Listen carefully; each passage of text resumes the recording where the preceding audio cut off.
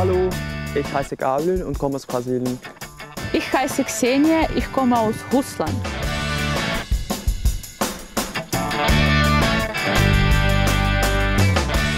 Ich bin selbst Tänzer und liebe Sprachen. Ich bin Stilistin und ich mag Fotografie. Das Projekt Münchner Artikel stellt Münchner Künstler vor. Münchner Künstler, die woanders geboren wurden.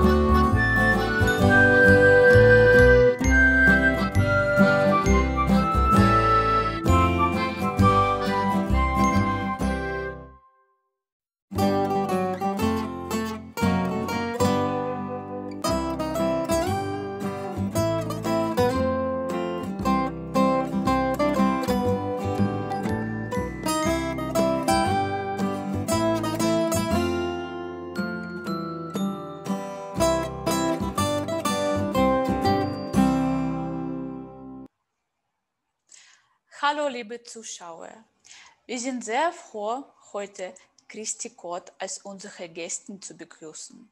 Frau Koff ist Geschäftsführerin des Verlags Bilibri, promovierte Literaturwissenschaftlerin und Sprachpädagogin. Dank diesem Verlag sind viele lustige und herzensgute Geschichten als zweisprachige Bücher ins Leben gekommen. Können Sie sich bitte vorstellen, wo wurde sie geboren und was verbindet sie mit Deutschland und München? Ich bin Christi Kocht, ich bin Verlegerin bei Edition Belibri und ich bin in Amerika geboren und aufgewachsen, habe auch dort studiert. Ähm, ich kam nach Deutschland äh, mit 28 Jahren, glaube ich, und ähm, war durch meinen Mann nach Deutschland geschleppt worden. ähm, ich habe ihn an der Uni in Amerika kennengelernt und eigentlich hatten wir vor, nur drei Jahre, vier Jahre in Deutschland zu bleiben und dann vielleicht irgendeine andere Ecke der Welt ähm, entdecken. Das war der Plan. Ähm, sind aber stecken geblieben, weil München so eine schöne Stadt ist. das Leben in Deutschland sehr bequem ähm, und haben hier dann zwei Kinder erzogen. Ähm, die sind beide zweisprachig, weil der Papa ist Deutsche. Und ähm, ich bin aber selber leider nicht zweisprachig aufgewachsen. Diese Gelegenheit hatte ich nicht. Äh, es ist ein großer Vorteil für jedes Kind natürlich, ähm, mehr als eine Sprache zu Hause schon äh, zu bekommen. Meine Kinder sind beide erwachsen inzwischen, ähm, 26, no, sorry, 25 und 22, ups, und studieren beide. Äh, meine Tochter studiert klassische Gesang ähm, in Leipzig und in der Bachelor und mein Sohn macht ein Master in ähm, nachhaltiges Bauen hier in, an der TU in München. Und ähm, die sind äh, beide zweisprachig aufgewachsen ähm, und äh, haben sicherlich einen größeren Wortschatz auf Deutsch als auf Englisch, weil sie in, auf Deutsch in, zur Schule gegangen sind und Englisch nur von der Mama und jetzt durch Lesen und Fernsehen und so weiter ähm, haben, aber trotzdem ist der Wortschatz wahrscheinlich ein bisschen größer auf, auf Deutsch, aber die sind sonst äh, sehr zweisprachig. Und äh, ja, also ich habe ähm, habe für meine Kinder immer Bücher übersetzt, damit wir beide sie vorlesen könnten. Und äh, jetzt habe ich einen Verlag, der den Eltern das, diese Arbeit ähm, äh, in, äh, von diesem Arbeit entlastet, dass sie nicht äh, alles übersetzen müssen, um Kinder vorzulesen abends. Frau Kott, wie und wer hatte die Idee? Und wie wurde der Verlag gegründet? Also der Verlag ist in 2004 äh, über, durch eine Freundin, Kerstin Schlieker, gegründet worden. Ähm, und in 2005 ist das erste Buch erschienen. Ihre Idee war, sie hatte ganz, ganz viele in ihrem um äh, Freunde und Familienmitglieder in ihrem Umkreis, die zweisprachige Kinder hatten. Und sie hat wirklich entdeckt, dass es eine Lücke gab in, in dem Markt. Äh, es gab praktisch keine zweisprachigen Bücher auf dem Markt, nur einzelne Projekte von verschiedenen großen Verlagen. Ähm, aber die Bücher waren kaum zu finden und sehr unbekannt. Und sie sagte, ja, das ist eine Gelegenheit. Ähm, hat den Verlag gegründet. Ich war von vornherein sehr mit eingebunden, äh, da ich auch Literaturwissenschaftlerin bin, so wie sie, hat sie mich immer bei der Auswahl von Titeln einbezogen. Ich habe von äh, vornherein die ganze englische Arbeit gemacht, also Übersetzungen, auch äh, den Texten gesprochen, auch CDs und so weiter. Das äh, habe ich übernommen. Und in 2006, Ende 2006, hat sie entschieden, dass sie da die Arbeit nicht mehr alleine machen wollte und hat mich gefragt, ob ich dann als Partnerin einsteigen wollte. Und so hat das Ganze begonnen.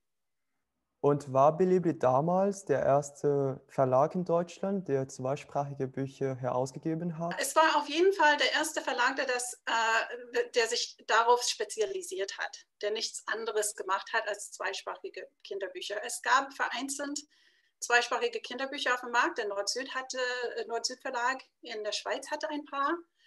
Ähm, diese Bücher waren aber wirklich kaum zu finden, zu finden, weil da sehr, sehr wenige Marketing dahinter steckte.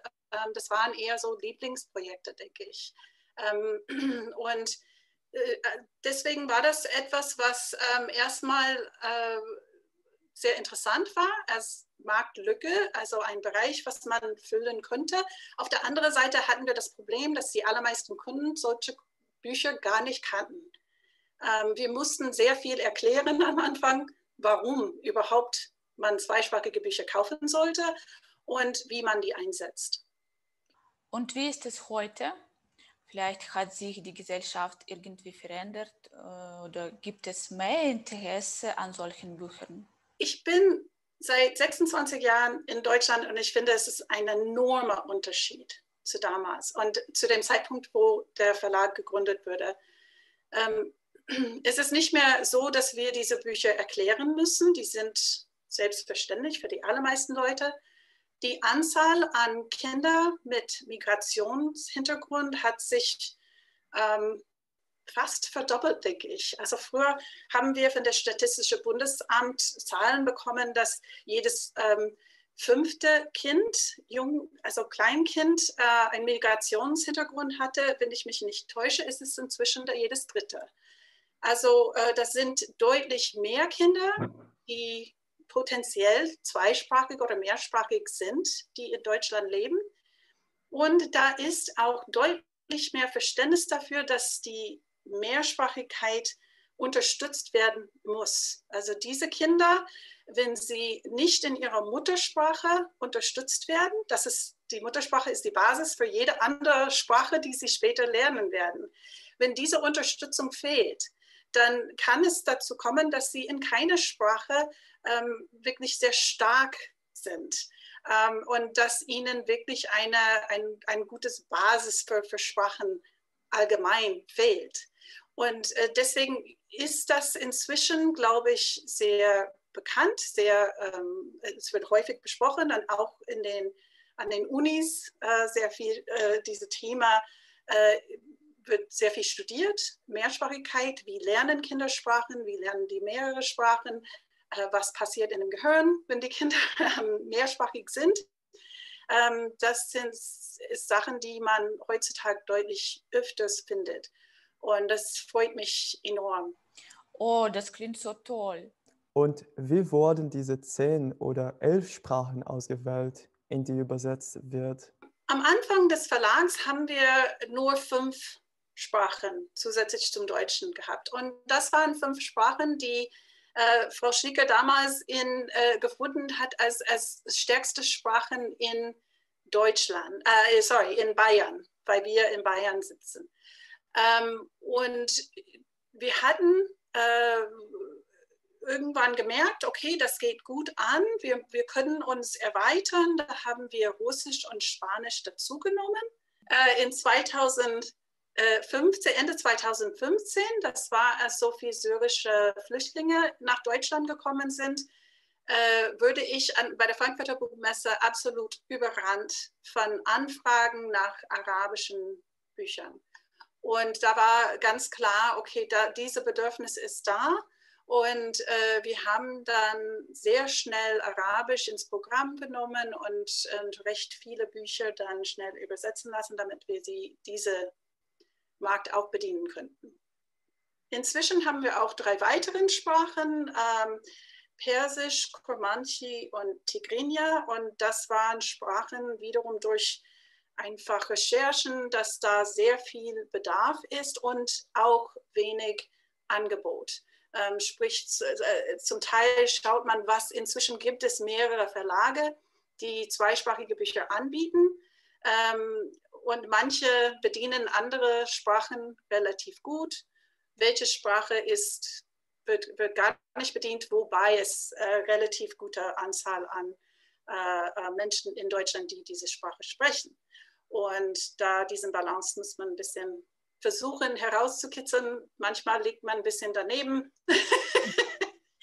also Tigriniert ist eine Sprache zum Beispiel, die wir nicht weiterhin führen, weil das hat sich nicht rentiert aber es wäre gut möglich, noch weitere Sprachen einzubinden. Also am, am liebsten würde ich ähm, hunderte Sprachen anbieten und wir, wir arbeiten dran. Aber äh, es ist auch so, dass wir ein sehr, sehr kleiner Verlag sind und äh, mir ist auch wichtig, dass die Qualität stimmt.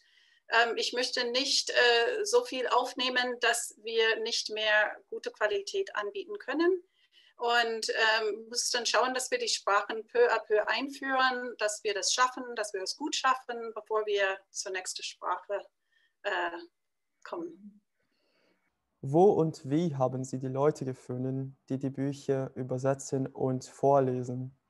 Ähm, am Anfang waren das Leute aus dem Umkreis, also Freundeskreis, Bekanntenkreis, äh, Familienkreis. Äh, so sind wir an die meisten ähm, Leute in dem Team gekommen bei diesen ersten früheren Sprachen. Äh, inzwischen ist es oft über auch Internetrecherchen. Wir bekommen auch ähm, äh, Mails von interessanten Menschen, die sagen, äh, ich bin Übersetzer für diese Sprache, falls Sie diese Sprache auch noch aufnehmen wollen. Ich wäre bereit, da zu übersetzen. Das ist natürlich schön. Ähm, da haben, haben wir dann praktisch ein Datenbank an Menschen, die möglicherweise sowas machen können. Äh, Übersetzer sind ein bisschen, sage ich mal, ein bisschen leichter zu finden, weil da wahnsinnig viele davon sind. Was noch schwieriger sind, sind Sprecher und Sprecherinnen zu finden. Ähm, das ist, ist, ist eine, ein, etwas, was vielleicht nicht ganz so häufig zu finden ist in den Sprachen, die wir brauchen, weil wir brauchen absolut Muttersprachler dafür. Mhm.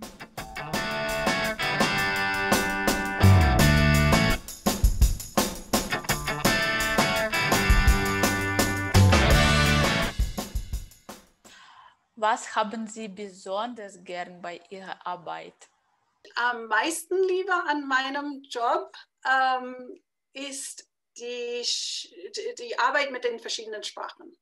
Ähm, ich finde es wahnsinnig interessant, was für Themen aufkommen bei zum Beispiel Übersetzungsprozess ähm, wo es vielleicht hacken kann, dass es in der einen Sprache sehr gut, ein, ein, ein Satz sehr gut zu übersetzen ist, mit allen Fülle, die in diese deutschen Satz drinsteckt. In eine andere Sprache ist es schwierig, genau das über, rüberzubringen. Und das kommt manchmal an überraschende Stellen. Ähm, äh, wir hatten in einem Buch, das allererste Buch als Autor und Anton, hatten wir auch eine Stelle, ähm, wo von einem so Kanalwasser gesprochen wird, so Abflusskanalwasser und wie schrecklich das war und das hat gestunken und es war schrecklich und es äh, schwimmte noch Zahnpastreste und Knoblauch drin. Und unsere griechische Übersetzerin sagte, aber man kann doch nicht schlecht über Knoblauch sprechen, das geht gar nicht. also das fand ich einfach herrlich. Also in dem Fall nicht ein Übersetzungsproblem von der sprachlichen her, sondern auch von den kulturellen her. Und das sind Sachen, die wirklich einem die Augen öffnen. Wie sehen andere Menschen in anderen Ländern ähm, bestimmte Situationen oder auch Gegenstände. Wie, wie wird das aufgenommen? Wie wird das, ähm, das finde ich wirklich herrlich an, an dieser Arbeit. Aber das ist eine großartige Arbeit. Und äh, ich vermute, es gab äh, viele interessante Geschichten im Laufe des Lebens, die mit diesen Leuten und den Büchern verbunden sind. Also ein Buch, was äh, sehr, sehr viele Leute äh, kennen schon, weil das ist unsere bestverkaufte Hardcover-Bücher, ist das Allerwichtigste. Es ist eine ganz tolle Geschichte. Ähm, in dem es darum geht, dass jeder seine, seine eigene Stärke hat und alle Stärken von den verschiedenen Leuten sind wichtig für die Welt. Ähm, ganz tolle Geschichte. Wir haben diese Geschichte von einem italienischen Verlag bekommen, aber auf eine sehr interessante Weise. Wir hatten ein E-Mail bekommen von einem Herr, der dieses Buch in Italien gesehen hat, ein Deutscher, der dieses Buch in Italien gesehen hat und hat gesagt, das muss, Buch musste es eigentlich in Deutschland auch geben. Und wir fanden das auch toll und haben gesagt, ja, da hat er recht. Und bei uns wäre das wirklich super. Und wir haben den Verlag angeschrieben und überhaupt keine Reaktion bekommen. Und dann haben wir nochmal geschrieben und gar keine Reaktion bekommen. Und irgendwann hat der Herr uns nochmal kontaktiert und gesagt, äh, was ist? Wird es das Buch jetzt in Deutschland geben? Und wir sagen, ja, wir kommen da echt nicht weiter. Wir, wir, wir, der, der Verlag reagiert gar nicht mal auf unseren Anfragen. Und da hat er dann die äh, Autoren, Illustratoren, die äh, Antonella Abatiello, äh, im Internet gesucht und auch gefunden und ihr geschrieben direkt und gesagt, hey, da ist ein Verlag in Deutschland, der äh, gern dieses Buch hätte und ähm, die kommen aber nicht weiter. Und, und äh, so hatten wir dann direkt Kontakt von dem Verlag bekommen, ein E-Mail bekommen, dass es doch vielleicht äh, möglich wäre, was zu machen. Und wir freuen uns riesig, weil das Buch ist, wie, wie gesagt, ähm, ist, ist wirklich unser absoluter Bestseller von, von allen Zeiten. Und Aha, also die Initiative der Leser ist auch gefragt. Ja, absolut. Das ist absolut richtig. Also manchmal ist es wirklich so, dass es uns wirklich hilft, wenn jemand im Hintergrund ein bisschen ähm, äh, ja, bisschen aktiv ist. Und äh, auch bei, ähm, äh, wir haben Kunden, die dann mal zu einer Bibliothek gegangen sind und haben gesagt, es wäre schön, wenn dieses Buch in der Bibliothek zu finden wäre. Ähm, so, so kann es auch schön äh, für uns äh, funktionieren.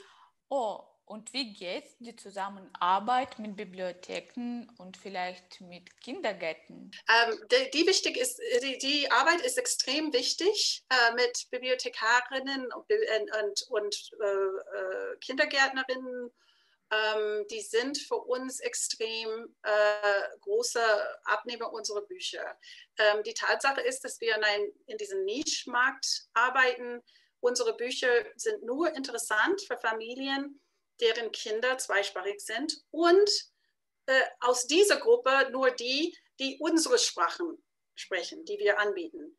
Ähm, sprich, unsere potenzielle Markt ist relativ klein im Vergleich zu dem normalen Kinderbuchmarkt. Und deshalb sind wir auch wirklich darauf angewiesen, dass, dass auch Buchhandlungen, also äh, sorry, Bibliothekare und auch äh, Kindergärtner unsere Bücher finden und für ihren Einrichtungen kaufen. Ja, ich glaube, ich habe die Statistik gesehen, dass jedes dritte Kind zu Hause eine Sprache, die nicht Deutsch ist, spricht. Das bedeutet, dass Ihr Markt nicht so klein ist. Ja, es ist nicht mehr so klein, wie es war. Das ist absolut richtig. Ähm, trotzdem aus diesem Drittel der Familien ist dann auch noch ähm, sind viele Sprachen, die wir nicht anbieten. Ich denke, dass es daran liegt, äh, dass viele mehrsprachige Familien nicht besonders viel vor ihrem Verlag wissen. Und das wollen wir gerade mit unserem Film ändern. Ja, das kann auch sein, dass wir wirklich noch nicht alle erreicht haben. Und wir merken das auch, dass wenn wir erstmal einen Weg in eine Sprachgruppe finden, in eine Sprachbevölkerung finden, ähm, natürlich äh, haben die Menschen innerhalb dieser Sprachgruppe äh, deutlich mehr äh, Einfluss als wir selber und können, äh, ja, können diese Informationen äh, weitergeben, natürlich. Dann erzählen wir ein bisschen von den Morgen e.V., ein Netzwerk der Migrantenvereine in München. Es geht zurzeit um rund 90 Vereine und mehrere, mehrere Sprachen. Bei diesem Netzwerk würden wir gerne den Verlag bekannt machen, um Leserkreis weiterzuentwickeln. Und welche Auswirkung hat die Pandemie auf den Verlag? Schwieriger war es zum Beispiel die Aufnahmen im Tonstudio. Wir waren mitten in der Produktion, als ähm, die Zahlen sehr schlimm geworden sind und mussten abbrechen und einiges verschieben in den Sommer, wo es dann ein bisschen besser geworden war ähm, und äh, werden jetzt auch, sind auch eigentlich, bin ich bereit, wieder in ein Studio zu gehen. Wir warten wieder, ähm, bis es ein bisschen, äh, da kann man natürlich sehr viel äh, Vorkehren in, in dem Tonstudio äh, aufnehmen. Das, aber es ist ein bisschen, äh, man, man, man will äh, schauen, dass es am, am sichersten ist wie möglich für alle Beteiligten. Und ähm, dann gab es das andere Problem und das war das Marketing. Also die Messen sind ausgefallen. Äh, wir haben äh, versucht, eine Möglichkeit, äh, die Bücher trotzdem äh, dafür zu werben. Und dann würden wir bombardiert von Anfragen von Kindergärtnerinnen und ähm, Bibliothekarinnen, die äh, uns gefragt haben, äh, wie machen wir das? Wir machen normalerweise hier Lesungen. Und können wir das dann einfach online machen? Wir machen ein Video und wir stellen es im Internet.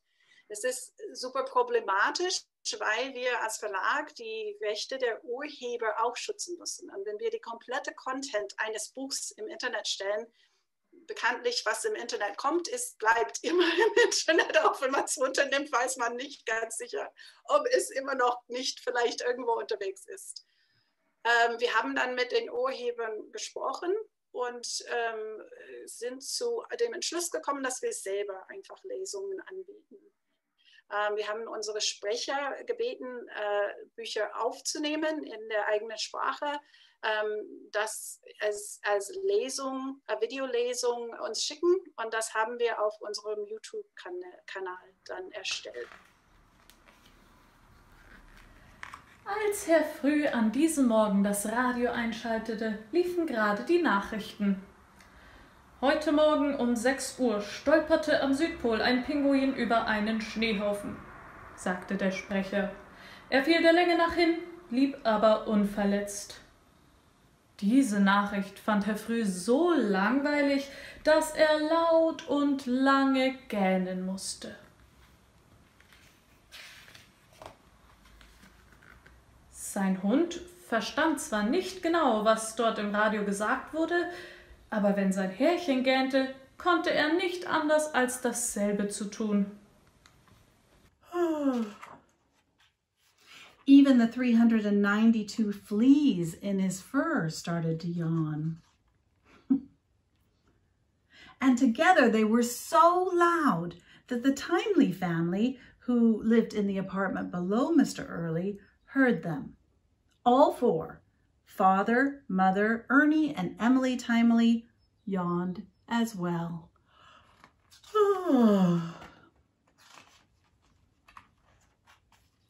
and also old Mrs. Late, who lived below the Timeleys in the ground floor apartment.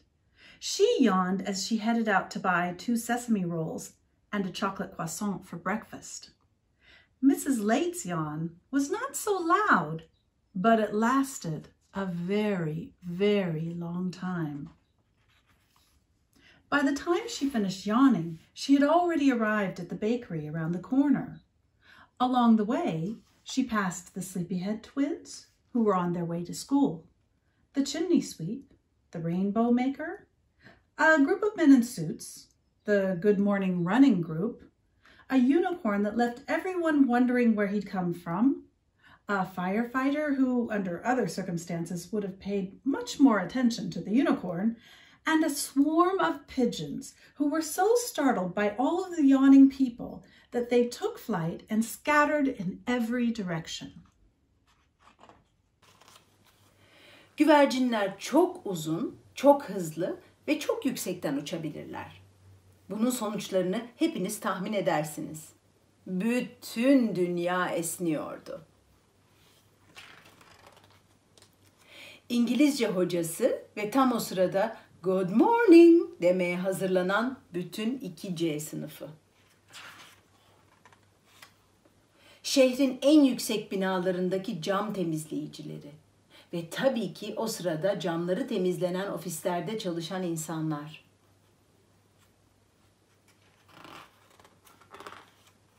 Пилот, второй пилот, стюард и все пассажиры самолета.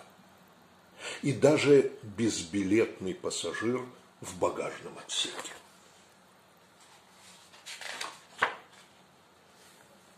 Последним, далеко-далеко отсюда, на Южном полюсе, зевнул пингвин.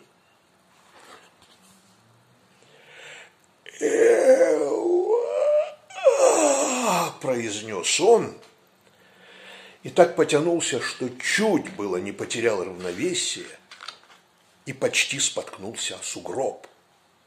Но только почти. Господин Спазаранков. Seu Madruga não entendeu nada que tinha acontecido. Ele foi para a cozinha, sentou-se, tomou um gole de café e desligou o rádio. E disse: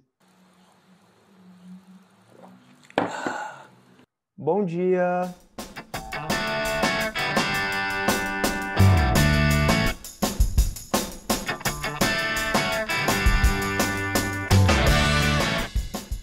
Auf ihrem YouTube-Kanal sind viele Videos erschienen, der Kanal wächst und er sieht sehr hoffnungsvoll aus. Werden Sie irgendwann die Videos vom Kanal entfernen? Die, die Idee war es, dass wir das für diese Zeit, für diese Corona-Zeit anbieten. Wir werden dann schauen, ich musste dann nochmal mit den Urhebern sprechen, ob das in Ordnung ist. Es kann sein, dass manche herunterkommen und manche bleiben. Je nachdem. Ja, klar. Zum Schluss, welche Message haben Sie für die Leser und Zuschauer in diesen unsicheren Zeiten? Also für den Verlag, ich würde gern wachsen in der Hinsicht, was wir schon äh, besprochen haben, dass wir mehr, mehr Sprachen anbieten könnten. Ähm, das wäre ein großer Wunsch von mir. Äh, sonst bin ich eigentlich ganz zufrieden mit dem Verlag und wie das, wie das läuft. Ähm, für mich persönlich, ich würde gern all diese Sprachen lernen, die wir anbieten. Ich bin ein absoluter äh, Sprachenfan und äh, habe Sprachen auch studiert und würde am liebsten 12, 13, 20 vielleicht Sprachen sprechen können. Das ist etwas für die Rentenzeit. Wenn ich eine Rentnerin bin, dann werde ich ganz viele Sprachen noch lernen. Ähm, ja, irgendwie fehlt mir die Zeit, aber das wäre eine Brechung für die Gesellschaft. Ich hoffe, dass wir ähm, weiterhin in die Richtung bewegen wie bisher. Ähm, ich glaube, es ist, die, die Fortschritte sind langsam, ähm, aber gehen meistens in die richtige Richtung, ähm, dass wir Verständnis füreinander haben, dass wir uns unterstützen gegenseitig. Ähm, das ist, habt ihr das gehört? Soll ich das nochmal sagen? Dass wir weiterhin in die Richtung bewegen, ähm, dass, dass, dass wir Verständnis füreinander haben, dass wir füreinander da sind, ähm, dass wir akzeptieren, dass Menschen unterschiedlich sind, aber am Ende sind wir als Menschen alle gleich. Ähm, wir, haben, wir sind gleich wert, wir sind äh, gleich wichtig, ähm, wir haben unterschiedliche Stärken, wir haben, haben unterschiedliche Schwächen äh, und das ist auch gut so so ist die Welt sehr, sehr bunt und interessant. Und ja, das wünsche ich für unsere Gesellschaft. Vielen Dank für das Gespräch. Wir wünschen Ihnen viel Erfolg. Vielen Dank. Das war sehr angenehm, Sie kennenzulernen. Und bis nächstes Mal. Ciao.